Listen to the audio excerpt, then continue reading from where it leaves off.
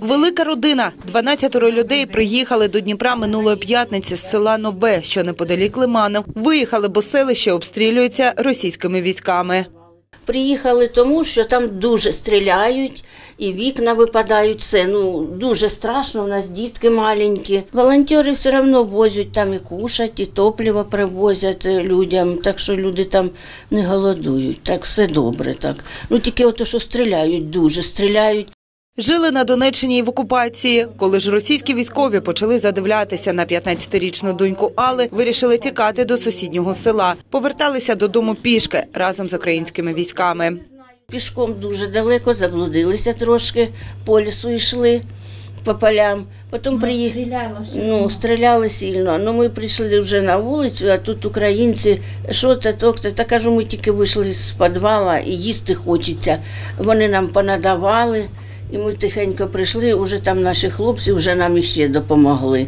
З собою взяли тільки найнеобхідніші речі. Зараз тимчасово живуть тут, в антикризовому транзитному центрі залишок. Далі планують їхати до Полтави. А Наталія з родиною приїхали вчора з Курахового. Місто армія Російської Федерації почала обстрілювати все частіше. В квартирі жінки вибило шибки та двері. Далі 72-річною мамою Валентиною та двома дітьми шкільного віку Дмитром та Дариною жити там було вже небезпечно.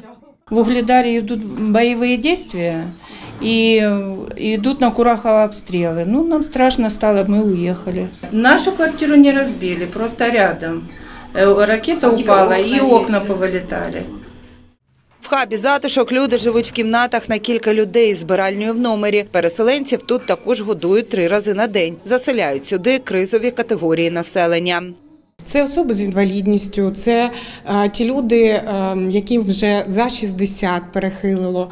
Це ті люди, які е, мають в родині представників, по е, які зараз е, або захищають країну, або несуть е, службу е, в ряді таких органів, як поліція, МЧС. Так родини залишаються поруч з батьками. І е, ці люди потребують такого е, хабу, де вони б змогли б видихнути, зробити якісь документи, якщо вони їх втратили. На даний час проживають 20 осіб, також транзитний хаб розрахований на 20 осіб до 10 діб. Але бувають такі випадки, коли люди стикаються з тим, що в них немає документів, тобто вони можуть трішечки затриматись, поки ми відновлюємо документи. Засновано цей хаб за ініціативи Донецької обласної військової адміністрації. Приєдналися до проєкту ООН та низка благодійних фондів.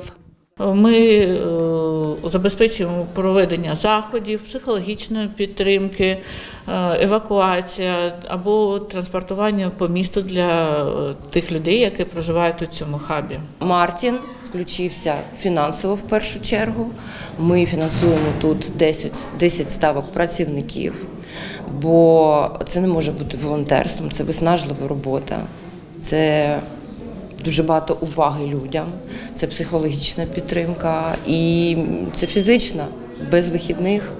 Надалі люди переїжджають до безпечніших регіонів країни. Працівники хабу співпрацюють з шелтерами та міськими адміністраціями громад, центру та заходу країни. Анастасія Галасюк, Олександр Буряк, Суспільне новини Донбас.